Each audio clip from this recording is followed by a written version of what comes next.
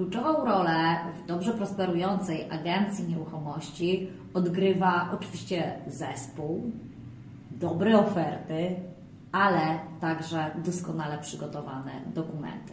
Niestety, czasami pośrednicy o tym zapominają. I co chciałabym dzisiaj Wam powiedzieć? Dobre dokumenty to nie tylko umowy pośrednictwa.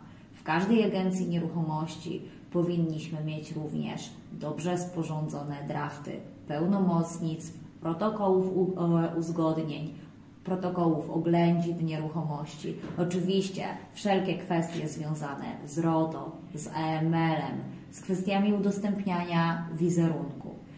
Co ważne, musimy też zadbać o umowy NDA i o ustanowienie tajemnicy przedsiębiorstwa. Cały taki pakiet dokumentów gwarantuje bezpieczeństwo zarówno dla agencji nieruchomości, ale i dla klientów. Jeżeli jesteście zainteresowani przygotowaniem takich dokumentów, które będą skrojone na potrzeby agencji, dlatego że nie korzystamy z wzorów umów, bo to prowadzi do bardzo poważnych problemów, to ja serdecznie zapraszam.